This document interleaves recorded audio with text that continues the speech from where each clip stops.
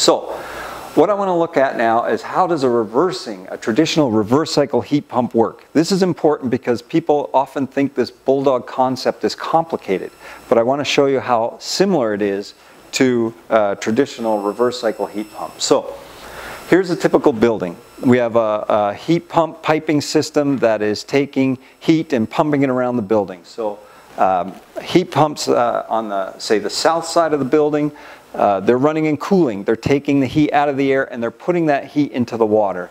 The water gets pumped, perhaps, to the north side of the building where it's cooler. They wake up in the morning, they need to run their building in heat. So they take the waste heat from the south exposure and they put it into the north exposure side of the building to heat that, uh, that space. So we're, we're using the waste heat from one area to heat another area. And then if uh, the temperature is too warm and we need to reject heat, we waste the heat to the atmosphere. That's one way of doing it, all right? And if the temperature gets too cold of this loop, we increase the temperature by burning a fossil fuel using a, a boiler, all right? Pretty classic uh, system. And uh, from the heat pump point of view, what a reverse cycle heat pump's doing is it's in cooling, it's taking in warm air, and it's cooling it. And it's absorbing the heat out of that air into the refrigerant and it gets absorbed and compressed by the compressor. It gets rejected into the condenser loop where we, we take, uh, say, 85 degree water, we heat it up to 95 degrees, that takes the heat away. And then we deliver 12,000 BTUs per hour of cooling, and we contribute 15,000 BTUs per hour into the water. Where does that difference come from? Why is a one 12,000 and one's 15,000?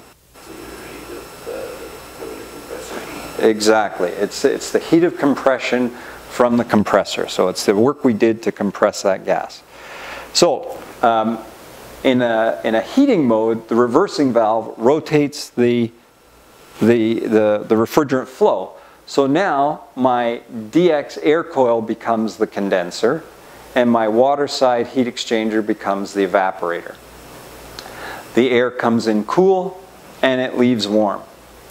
We bring in water now that's 70 degrees. It's a little cooler in the wintertime. We absorb the heat out of that and we send it back into the building cooler. All right? We absorb that heat into the refrigerant. We put it into the compressor. The compressor compresses it, generating heat and it transfers it to the condenser, which provides us the heat delivered. Perfect, mission accomplished.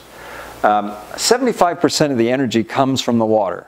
Some engineers uh, make their living out of uh, uh, doing heat pumps. They don't realize that the water is actually providing 75% of that energy for heating the space. The other 25%, as Gary said, comes from the compressor operation, the, the heat of compression and that provides 100% of the heat delivered. So we have a bit of a, a difference here. Now I'm only absorbing 10,500 BTUs per hour and I'm delivering 14,000 BTUs per hour. Any idea why that might be?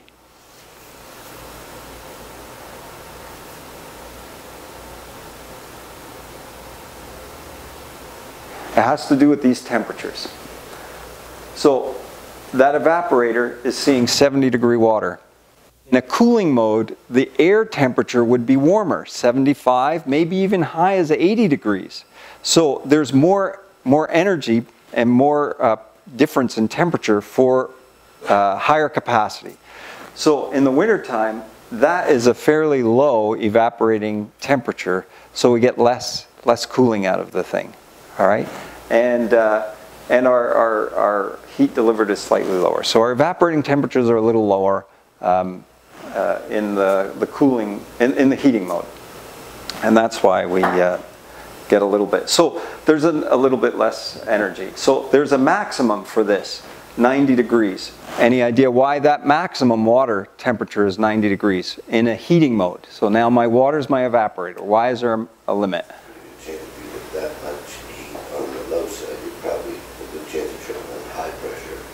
Yes, that's possible. Most of these compressors are suction gas cooled.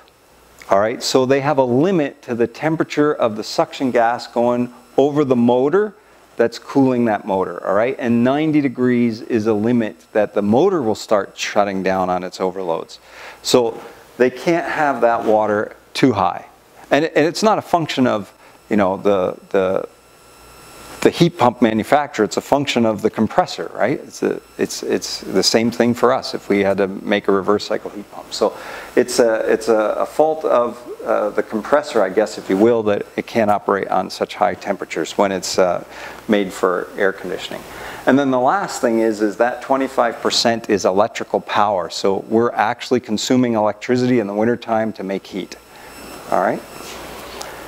Uh, and in fact, of the four units of heat that we need to deliver to the space, one unit of heat comes from the compressor electricity and three units of heat come from either the heat rejection of heat pumps that are in cooling or from a boiler. So we're, we're paying probably three times the price for that electricity that we do for, say, a gas boiler. And so that's where those energy savings come from.